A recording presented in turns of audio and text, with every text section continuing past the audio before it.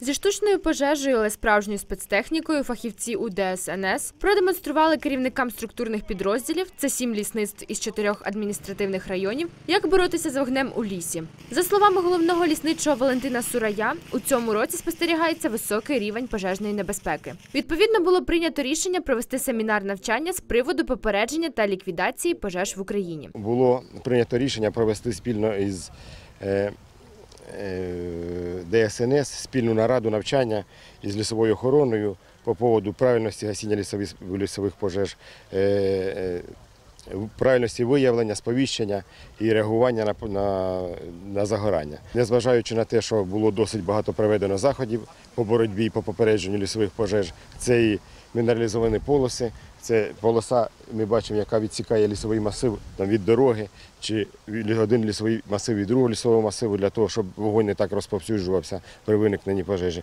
Було створено 90 кілометрів мінералізованих полос, 310 кілометрів проведено догляд за мінералізованими полосами.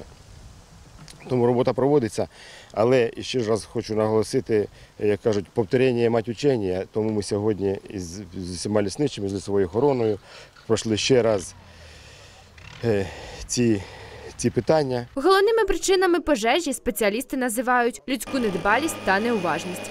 Саме ці чинники тягнуть за собою матеріальні збитки та екологічні катастрофи. Дуже часто ціною необережного поводження з вогнем стає життя. Пожежників у нас на підприємстві немає. Це е, створюється на пожежонебезпечний період добровільні пожежні дружини, які е, погоджуються, ну, затверджуються наказом по підприємству.